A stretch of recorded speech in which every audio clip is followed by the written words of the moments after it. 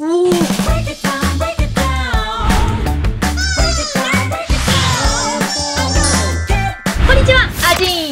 回はガチャガチャの森で回してきた新作ガチャガチャを開封していきます。オレンジがね、ちょっとダブっちゃったんですけど、全5種類なんとかゲットしてきました。一つ目いきます。一つ目。じゃあ、まず一番多い、オレンジからいきます。4つ被りました。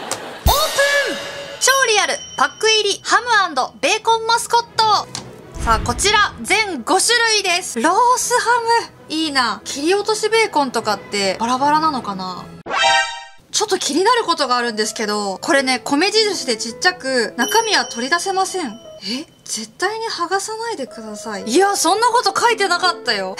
ちょっと待って。ガチャガチャのマシーンのポスターあるじゃないですか。あそこに中身のハムやベーコン取り出せるって書いてあったんですよ。え、どっちなんだ？中身は取り出せません。んえー、どうしよう。どっちなの？まず一つ目、ロース生ハム。うわー、リアルだ。うわ、めっちゃ可愛い。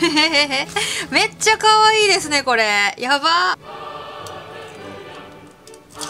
おうくっついてきちゃった。いや、開きますね。ちゃんと粘着になってる。全面ね、粘着ですね。端っこだけっていうわけじゃなくて、この今、ハムがついちゃってる部分も粘着になってますね。おお。中身は取り出せました。特に私がなんか無理やり力を入れて取ってるわけでもなく、取れますね。取れるんだけど、この最後の1枚のハムは取れなさそうな気がする。取れるのかなこれ。くっついてる。あ、取れますね。接着されてなかったです。3枚ハムが出てきたのと、このガチャを回した人で開けたいなっていう人はまあ大丈夫だと思いますね、全然。この通り。貼って剥がせるけど、多分一番初めよりは何回もね、こうやって開け閉めしてると粘着が弱まるかなっていうことを思って書いてあるのかもしれない。うん。B、C、E のパックの蓋はシールですが、絶対に剥がさないでください。これね、B なんです。まあ自己責任で、まあお願いしますということですね。なんでだろうパッケージね、最初ガチャ回した時に書いてあるのと違うこと書いてあるな。ちょっとそこが気になった。はい、ということで、まず一つ目、ロース生ハムでした。二つ目いきます。二つ目。オープンお、厚切りハムステーキ美味しそう。うわ、すっごい中リアルです。めっちゃリアル。厚みがあります。容赦なく開けちゃいましたけど。これもさっきと同じタイプです。うわー。2枚？3枚？2枚入ってる。めっちゃリアル。こんがり。中身はプラスチックでスクイーズとかではないです。3つ目いきます。オープン！おお切り落としベーコン。うわー。すごい細かい。うわー。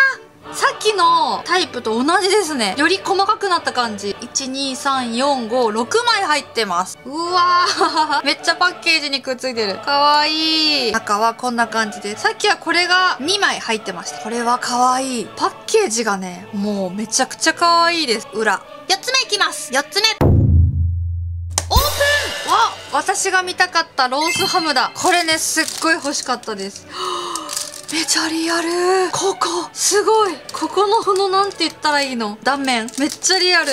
うわーかわいいこのね A はもう。駄菓子のガチャガチャと同じですね。駄菓子マスコットのグミのガチャガチャがあったんですけどグミもこういう感じで一回この紙を剥がすと元に戻らないっていう。まさかのここへ来てなんですけど青も3つダブってました。いやー知らなかった。青ね今出てきたんですよここから。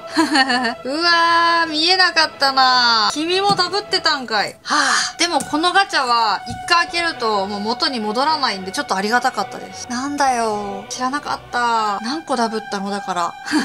めっちゃダブってると思います今回も。ああこれはもうもうこれは覚悟を決めて開けます。もう元には戻れない。いやー一回ですいかないんですよね。どうやったら一回でこう開くんだろう。開かないな。あここだ。